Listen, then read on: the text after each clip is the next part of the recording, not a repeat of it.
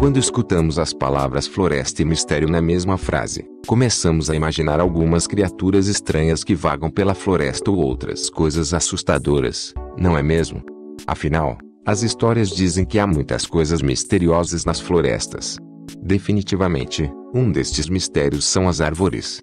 Há tantos tipos delas e nós nunca pensamos que elas podem nos dizer algo. No entanto, as árvores podem guardar os segredos mais antigos e sombrios de todos os tempos. Cientistas afirmam que sempre que encontrarmos uma árvore dobrada, devemos ficar alerta. Basta olhar com atenção ao seu redor, pois a maneira como a árvore está dobrada pode indicar algo interessante. Em particular, essas árvores podem mostrar uma direção que alguém pode estar procurando.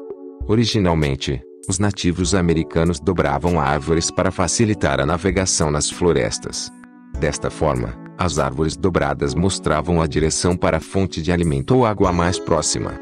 As árvores dobradas também eram uma forma de marcar a área como um local seguro.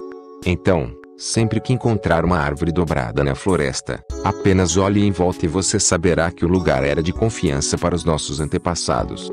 Os cientistas concordam que algumas árvores não foram dobradas pelos nativos americanos, mas sim pela natureza.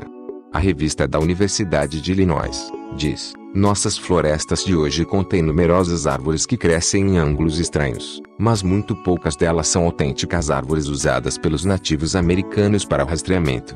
Apesar do motivo dessas árvores terem sido dobradas, é sempre interessante adivinhar qual é a história por trás delas.